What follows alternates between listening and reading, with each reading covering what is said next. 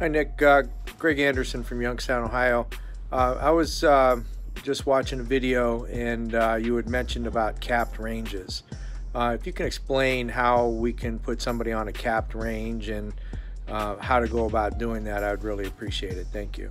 All right, this is a great question about capped hand ranges. So first things first, a capped hand range is one that does not include very strong hands.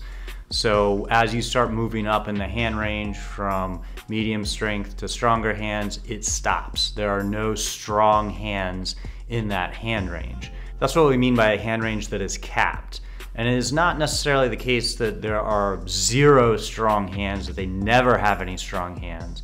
But for the most part, it's pretty unlikely that they have any strong hands in their range when they have a capped hand range. So how do we identify that at the table? Well, typically it's gonna be when your opponent takes a passive action, uh, they either check or they just call in a spot where they would have bet or raised if they had a strong hand.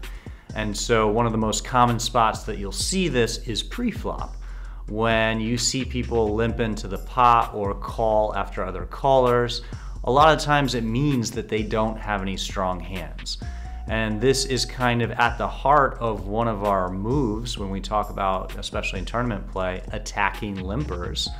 When there are multiple limpers at the table, each subsequent limper is less and less likely to have a strong hand. And that makes sense if you were at the table and you saw several limpers in front of you and you had a hand like ace king or two queens or two kings, you would most likely raise with that hand and you should raise with that hand.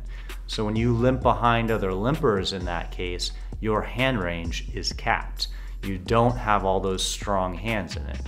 So when you have those multiple limpers at the table, uh, you can raise against those limpers and you're really only worried about that first limper, maybe the second limper, but as you go down the line, each player is more and more capped in their hand range. And so the same idea can be applied to post-flop play as well. When an opponent checks or calls in a situation where they would have bet or raised, if they had a big hand, then that's a signal that their hand range may be capped.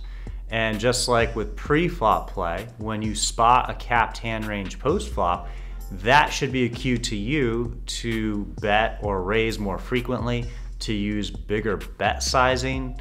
Uh, against a capped hand range, you are more able to exert aggression both with made hands as well as your bluffs.